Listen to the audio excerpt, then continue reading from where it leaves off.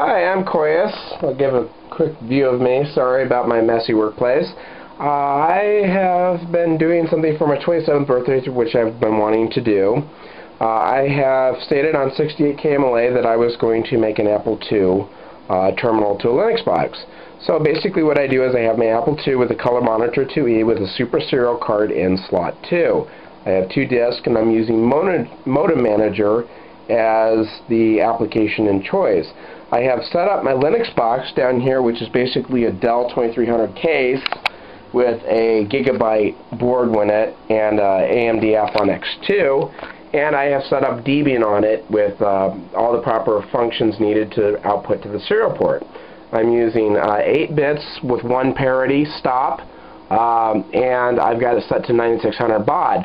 I started working on this site which is basically uh, dataswamp.net Apple II serial term. And this guy had basically done the first thing. He took a Gentoo box and he installed uh, Getty on it, or agetty, and he has used it with an Apple II to create uh, a link between his Apple II and the Gentoo and use the Apple II as a terminal device. So basically what we're going to do is we're going to emulate a VT220, or at least I've already got it set up. So following the instructions and following some other things using Debian on the net, I have managed to get Debian up. Uh, I have this posted on 68KMLA under Apple IIe Trickiness, and I have successfully already done this using the Apple II to actually post uh, a post on the Apple II or the 68KMLA MLA site. So what we're going to do is we're going to start up the machine, and I've already got grub output set to output to the serial box, so we're going to start up. I have the Apple IIe already waiting as the command line or waiting for the terminal, and I have it set to 9600 baud. So we're going to have is going to have the machine start up. And go ahead and start the boot sequence, and we're going to move over to the Apple II. What we're going to first see is we're going to see the boot menu. At least we should. There we go. So we've got the new Linux, and it should be coming over a DB9 uh, to, to DB25 cable. So we're going to have it boot up. It's kind of slow. pardon me, I got kind of got a cold, so my uh, voice is pretty hoarse.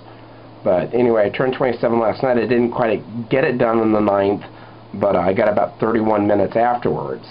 So, but I'm just doing this as a chronological to show what happens. So here we are, we're booting up. In the meantime, the desktop is going to have its graphical user interface show up, but everything we do here is from command line. So I'm going to go ahead and log in.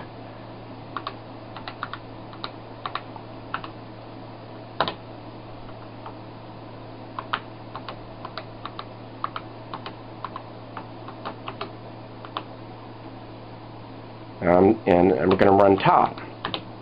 I'm going to see all the processes, a bit slow. It's constantly running, so we're going to escape out of that. Uh, control C. So we're going to go on 68KMLA. So we're going to use links to which I've already installed. Dot uh, 68KMLA.org.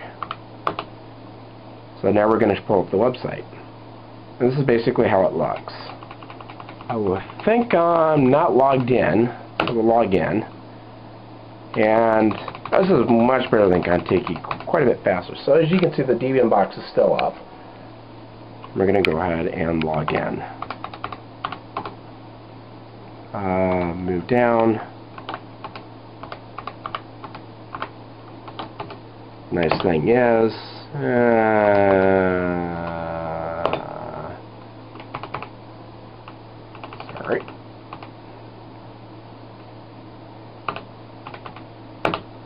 Go ahead and log in. So now we're logged in.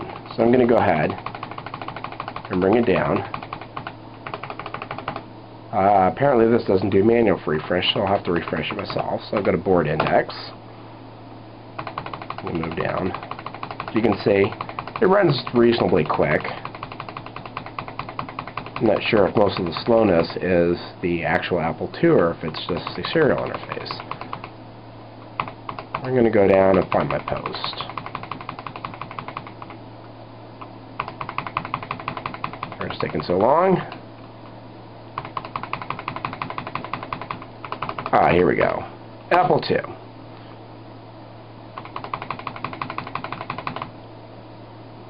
And like I said, it's kind of slow, but we'll get there. And here's my post. and this is basically showing what it can do. Now there's much more you can do. I'm not too familiar with Linux, but um, I'm going to be doing a little bit more, but I thought the Apple II would be the perfect way to get started. So I hope you enjoyed this video. Uh, I might make more about what I can do with the Apple II, but right now this was my big project. And uh, thank you all for watching. Like this video if you like it, and uh, I'll see you later on the inner tubes.